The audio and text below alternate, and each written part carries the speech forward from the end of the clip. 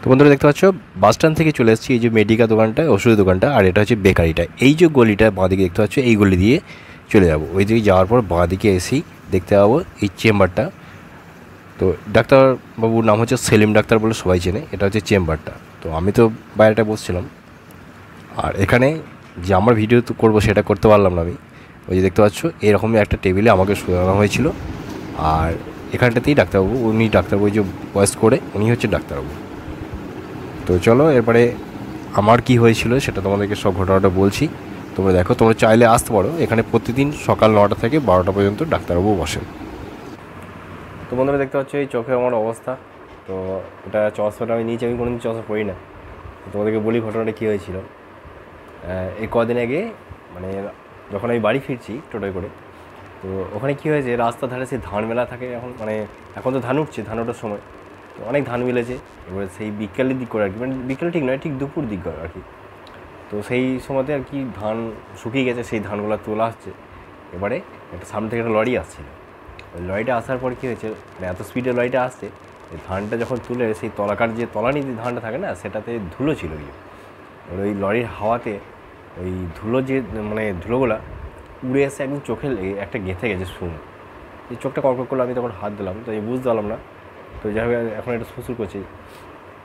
এই তুলোটা উঠছে তো হাওয়াতে তো তখন কি হয়েছে আমার? ওই গেঁথে গেছে। ওটা গাঁথার পরে আমি বাড়ি আসলাম চোখে মানে জলে ঝাপটা দিলাম। তখন দেখছি যে বেরোচ্ছে না। বুঝতে পারছি গেঁথে গেছে। তো আমি বললাম যে কী মানে হবে এটা। তো দেখলাম যে ডাক্তার দেখাতেই হবে না হলে তো বেরোচ্ছে না কিছুতেই আমি আবার নিজে আবার হালকা তুলো দিয়ে চেষ্টা করার মানে চেষ্টা করতে গেলাম যে এইভাবে তুলো দিয়ে সরাই গেল তুলোর একটু শুং লাগছে, চোখটা কেমন ব্যথা মানে লাগছে কি মানে চোখ বন্ধ হয়ে যাচ্ছে। যেহেতু ডাক্তারি ব্যাপার, আর ওটা তো চোখ জিনিস না, তো আমি কী করলাম তখন যে ওটাকে দেখি একটা দিন দেখি। রাতে গেলে শোলাম, রাতে শোয়ার পরে চোখটা বেশ মানে কড়কড় করছে। চোখটা বন্ধ করার পর ঘুমিয়ে উঠলাম, ঘুমিয়ে ওঠার পরে সকালবেলা দেখছি জলে ঝাপটা দিলাম কড় করছিল কিন্তু তারপর তাকে দেখতে পাইনি। কারণ যাক তাহলে মনে হয় বেরিয়ে গেছে। কিন্তু ওটা যে ওই জায়গার ভেতরে ঢুকেছিল, কিন্তু ওটা আমি বুঝতে পারিনি। হ্যাঁ আমি তো স্পষ্ট দেখতে পাচ্ছিলাম তাকে, আর সাদা হালকা আভার মতো দেখা যাচ্ছিল। তো তখন কী করলাম আমি যে যাক বেরিয়ে গেছে, আর অসুবিধা নেই। তারপরের দিনে তারপরের দিন মানে একদিন বাদ দিয়ে তারপরের দিন গ্যাপ দিয়ে, রাত্রের বেলা থেকে তোমার যন্ত্রণাটা শুরু হয়েছে। মানে গতকাল রাত থেকে আর কি শুরু হয়েছিল। হালকা ব্যথা করছে, দেখেছি কর্ক করছে, কিন্তু দেখছি যে হ্যাঁ ওই জায়গাটাতেই মানে যে মনিটর রয়েছে না, এই চোখের যে মনিটর রয়েছে, ঠিক তার পাশটাতে একদম হালকা একটা, মনে হচ্ছে কিছু পোকার মতো রয়েছে। হ্যাঁ জায়গাটা আমার স্পট পড়ে গেছে আর কি। মানে জায়গাটা চিড়ে দিয়েছে। তো আমি কী করব? বুঝতে পারছি না যে চোখেতে ব্যথা করছে, রাতে কষ্ট করে ঘুমিয়েছি কারণ দেখাতেই হবে। রবিবার যদি ডাক্তার না থাকে দিয়ে আমি মামাকে ফোন করলাম। মামা রিপ্রেজেন্টেটিভ ওষুধের। তো মামা আমাকে বলল, এই জায়গায় চলে যায়, নতুন হাট, বলে একটা জায়গা আছে, ওখানে ডাক্তার আছে, সেলিম ডাক্তার। তো খুব ভালো ডাক্তার। তো বন্ধুরা, আমি ওই ডাক্তারবাবুর কাছে গেলাম। ওই তোমাদেরকে ওই অ্যাড্রেসটা ঠিক বলে দেবো, কোথায় ওটা ওটা। তো সেলিম ডাক্তারের কাছে যাওয়ার পরে ওখানে দেখলাম যে রোগী রয়েছে নাম টাম লেখালাম। আচ্ছা নাম লেখানোর পরে ভেতরে গেলাম। তো উনি দেখে দেখলেন, দেখার পরে বললেন যে তুমি যা মানে করে নিচ্ছ ওটা সময় দেখাতে হবে তো, এটা বেশ ইনফেকশনের মতো হয়ে যাবে, জায়গাটা ছিঁড়ে গেছে ওটা। যাক নামটাও সব লিখলেন। দিয়ে আমাকে ওখানে শুয়ে দিলেন ওখানে, জায়গাটা। শোয়ানোর পরে, এবার আমি তো ভিডিও করতে পারছি না, যাই হোক। আমি তো কোনো রকমে মানে ঢুকে গেছি। নাহলে তোমাদের দেখাতে, আমি বাইরে থেকে যেটা করেছি, সেইভাবে দেখাবো দেখাবো তোমাদেরকে। তো ওটা শোয়ানোর পরে ওখানে একটা এক ধরনের, আমি তো ভাবলাম যে চোখের মধ্যে মানে যে কী মানে টাচ করলেই তো লাগবে, কী দিয়ে করবে? ওটা তো আমার তো প্রথম জানা নেই।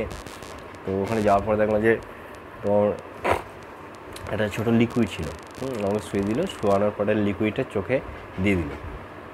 দু চার ফোঁটা দিল যে আমাকে যে দিচ্ছিল সে বলল যে একটু জ্বালা করে প্রথম কিছু অসুবিধা হবে না, তারপরে ঠিক হয়ে যাবে। কিন্তু সেরকম জ্বালা কিছু করেনি। তো আবার দ্বিতীয়বার আবার দিল মানে দু চার, প্রথমে দু চার ফোঁটা দিল, তারপরে আবার একটু বেশি করে দিল। মানে ওটা কী করছে, আস্তে আস্তে ওই চোখ মানে আমাদের সব দেখতে পাচ্ছিলাম কিন্তু সব কিছু, কিন্তু চোখে টাচ করলে কিচ্ছু বোঝা যাবে না। হুম, কিন্তু হালকা একটা অনুভূতি পাচ্ছিলাম যে কিছু একটা ঠিক এরকম আর কি।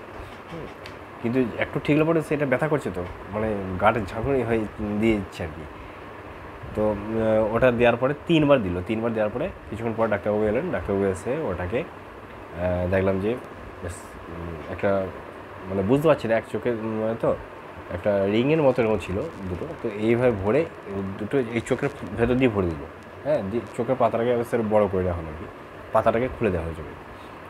দিয়ে ওখান থেকে একটা সিরিঞ্চের যে ছুঁচ থাকে সেই ছুঁচ আর একটা ওনাদের যন্ত্র ছিল সেই ছুঁচ দিয়ে খুঁড়ছে। আমি সেটা বুঝেছি যাতে খুঁড়ছে খুঁড়ে খুঁড়ে তুলছে কিছু। মানে এটা এতটাই গেঁথে গিয়েছিল যে ওটা কিছুতেই বেরোচ্ছিল না। হ্যাঁ কোনো রকমের কষ্ট মানে অনেকক্ষণ খুঁচে খুঁচে খুঁচে যাচ্ছে। ডাক্তার নিজেই বলছেন যে এটা সব আগে থেকে দেখাতে হয়। কিন্তু আমি তো, আমি নিজেও বুঝতে পারিনি যে এরকম অবস্থা হয়েছে। তোমাদের দেখাই চোখটা, আমি হালকা খুলে দেখাচ্ছি, দেখো কী অবস্থা হয়েছে চোখটা। দেখে বুঝতে পারছি চোখটা খুলে একদম যাতা অবস্থা হয়েছিল। ওটা টাকা দিয়ে রাখতে বলেছে। তো আমি তো কষ্ট করে যাকে এসেছি। মানে ডাক্তারবাবু এত সুন্দর হাত মানে বয়স্ক ডাক্তার, দারুণ ডাক্তারটা।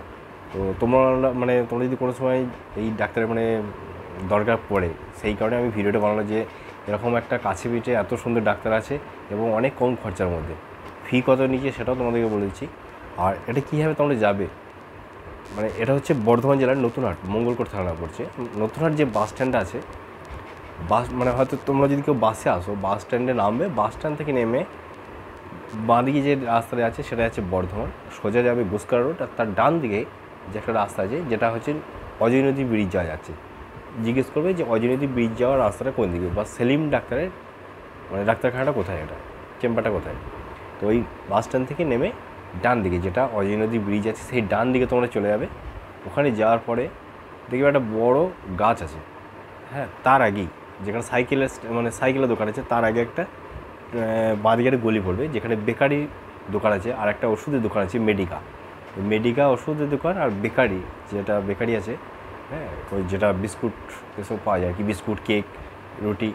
তো তার মাঝে একটা রাস্তা আছে বেরিয়ে, ওই রাস্তাটা যাবে গেই বাঁ দিকে টার্ন নিয়ে ডান দিকে দেখতে হবে। বা- যখনই যাবে বাঁ দিকে যাবে বাঁ দিকে গিয়ে ডান দিকে একটা ইয়ে সরি বাঁ দিকে গিয়ে বাঁ দিকেই টার্নটা পড়বে, সেই টার্নের অপোজিটে ওখানে হচ্ছে ডাক্তারবাবু চেম্বারটা তো ও যাকে জিজ্ঞেস করবে যে সেলিম ডাক্তারের চেম্বারটা কোথায়? তো যে কেউ বলে দেবে। আর এত সুন্দর ডাক্তারবাবু, হাত, বয়স্ক ডাক্তার, খুব ভালো নাম করা ডাক্তার কিন্তু। তো আমি যাওয়ার পরে আমি ভাবলাম যে কত টাকা কী নেবে আমি তো বুঝতে পারছি না। হ্যাঁ বেশি টাকা আনিনি। যে অনেক টাকা খরচা হয়ে যাবে হয়তো। তা এমন কিছুই খরচা নয়। মানে ডাক্তারবাবুর ফিস হচ্ছে দুশো দশ টাকা। দুশো দশ টাকা উনি নিলেন। দশ টাকাটা কিসের জন্য? দশ টাকার জন্য উনি দুটো, দু দাগ ওষুধ দিয়েছিলেন। মানে যখন ওটা মানে চোখ থেকে বার করা হয়ে গেলো, তো হওয়ার পরে এটা লাগিয়ে দিয়ে দিয়ে আর কি লাগিয়ে লাগিয়ে দিল, তারপর আমাকে বললেন একটু দশ মিনিট বসতে, নাহলে মাথা ঘুরতে পারে। যেহেতু এই লিকুইডটা দেওয়া আছে লিকুইডটা দেওয়ার ফলে কী হয়, চোখটা অবস্থার মতো হয়ে যায় হ্যাঁ? কিন্তু সবই দেখতে হবে, সবই মানে বুঝতে পারবে তুমি নিজেই বুঝতে পারবে না, কিন্তু চোখের টাচ করলে কিছু হবে না, এরকম আর কি ওই লিকুইডের কাজ, যেটা বুঝতে পারলাম আমি। তো আমার ভয় কাজছিল প্রথমে তা ওটা দেওয়ার পর আমাকে বললেন একটু বসো, আর দিয়ে উনি দু দাগ ওষুধ দিলেন আমাকে, এই দুটো। বলে, এটা খেয়ে নাও। তো আমি খেয়ে নিলাম। বলে, মাথাটা তো ঘোরেনি তো? আমার মাথা ঘোরেনি বলে, দশ মিনিট বসো। তো তারপরে উনি প্রেসক্রিপশন করে দিলেন, আমাকে জিজ্ঞেস করলেন, আমি বললাম লিখে দিলেন আর কি, কোথায় কী হবে? বলে, এই ওষুধ কটা তুমি এখান থেকে নিয়ে নেবে। তো ওনার ফিস হচ্ছে দুশো দশ টাকা। আর যেটা ওষুধের দোকানে গিয়েছিলাম, ওষুধের দোকানে ওখানে যে বেশি, অনেক ওষুধ টাকা, অনেক টাকা ওষুধ দেবে সেরকম কিছু নাই কিন্তু, ঠিক আছে? তো আমাকে বলল যে, কত কত টাকা কী ওষুধ লাগবে? তিন দিনের ওষুধ। কদিনে? তিন দিনের। তিন দিনের ওষুধ আমাকে দিয়ে দিয়েছিল, তিন দিনের ওষুধ নিলাম। ওই তিন দিনের ওষুধে যে খরচাটা পড়েছে, খুবই কম খরচা। ওটা হচ্ছে পাঁচশো তিরিশ টাকার মতো পড়েছে। এবং আমি ভাবছিলাম ডাক্তারখানা থেকে যখন পাঠিয়েছে অনেক টাকা বেশি নেবে, সেরকম কিছু নেয়নি। অনেক কম মানে এত কমে মানে কী বলব মানে খুবই কম টাকা। দুশো দশ টাকা ফিজ আর ওইদিকে ওষুধের তিন দিন, যদিনের ওষুধ, তদিনের টাকা। ঠিক আছে? মানে তত টাকার মতো লাগছে আর কি। তিন দিনের ওষুধ দিয়েছিলেন আর কি। আর বললেন যে তিন দিন পরে একবার দেখা করতে, তো আমি তিন দিন পরে আরেকবার যাব। তো বুঝতে পারছ চোখের এই অবস্থা। তো তোমাদেরকে এই ইনফরমেশান দিলাম, যদি কারোর এরকম চোখের কোনো প্রবলেম হয় তোমরা কিন্তু এরকম ডাক্তার একটা পেয়ে যাবে একদম কাছেই, নতুন হাট। আর যারা বীরভূম ডিস্ট্রিক্ট থেকে আসবে, নতুন হাট ব্রিজে নামবে, এই মানে ব্রিজটা পেরিয়েই বাঁ দিকে আসবে। যখন ব্রিজটা এরকম আসছো মানে ধর এদিক থেকে আসছো, এদিকে এসে এরকম ব্রিজে বাঁ দিকে নেমে এসে ঠিক ব্রিজের তলা দিয়ে চলে আসবে, সোজা ওখানে জিজ্ঞেস করবে কিছুটাই যাওয়ার পরে যে এখানে সেলিম ডাক্তারের চেম্বারটা কোথায়?